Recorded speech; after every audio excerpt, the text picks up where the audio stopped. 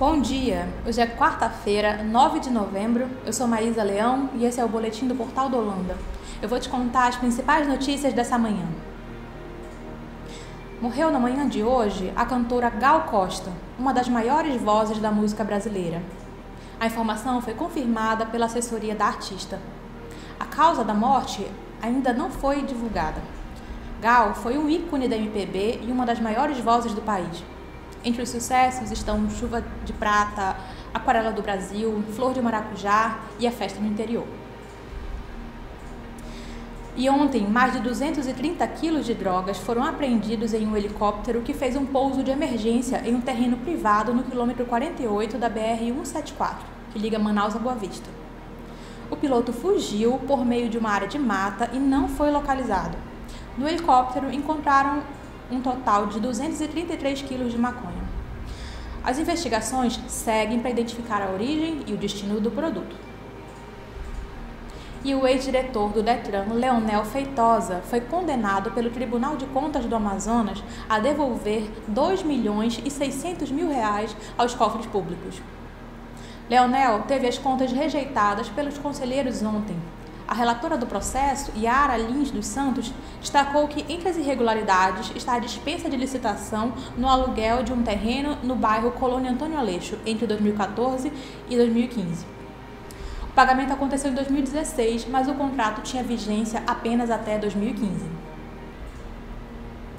E um circuito de ações de saúde para marcar o Dia Mundial do Diabetes Mellitus acontece hoje no Parque do Idoso.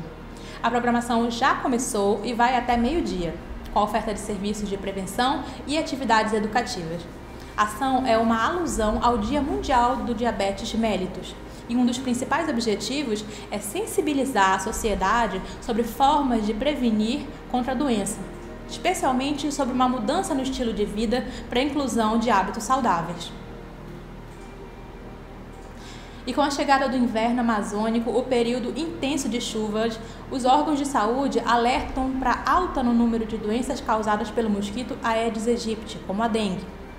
Para evitar o aumento de ocorrências no período, autoridades de saúde reforçam que, para combater a proliferação do mosquito, continua sendo a forma mais eficaz de prevenção da doença. O infectologista Antônio Magela, da Fundação de Medicina Tropical, alerta para um possível aumento na quantidade de casos de dengue nos próximos dias. Em sua maioria, os casos não são graves nem precisam de internação médica, mas precisa ser diagnosticado precocemente para evitar a evolução para um caso grave. Entre as principais ações que podem combater o criador do mosquito transmissor da dengue, é essencial evitar o acúmulo de água em recipientes grandes ou pequenos. E a abertura da Copa do Mundo começa daqui a 11 dias.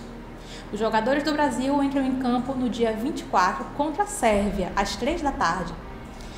E a venda de artigos da Copa do Mundo já segue intensa em Manaus. As lojas já apostaram em venda de camisetas da seleção, buzinas e copos verde e amarelo. E eu fico por aqui. Essas foram as principais notícias. Você pode acessar as matérias completas na descrição do vídeo. Mais informações você acompanha no portal do Holanda. Até amanhã!